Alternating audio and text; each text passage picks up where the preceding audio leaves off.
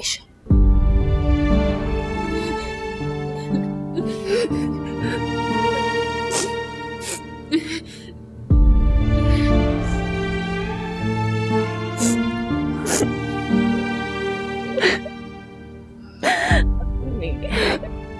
रोने का क्या फ़ायदा?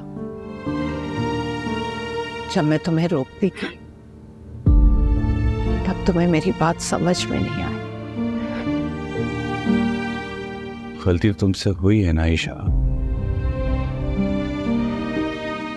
देखो, जो मसला तुम्हारी बेवकूफ़ी की वजह से खड़ा हुआ है, उस मसले से हमें किसी न किसी तरीके से तो निकलना है ना।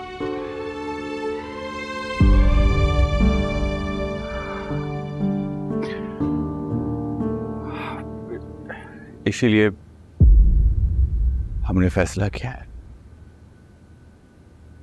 हम तुम्हारी शादी इसी हफ़्ते और हमसे करवा देंगे।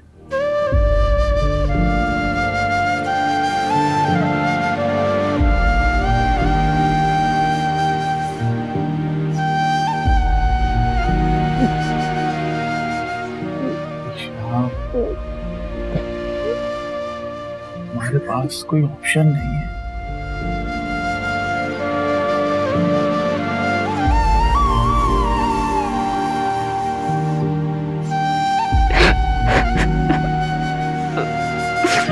Amin.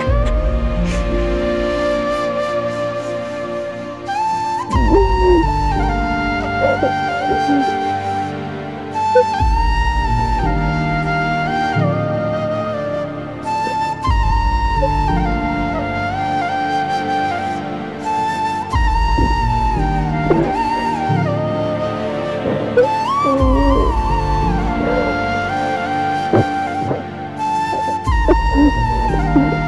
people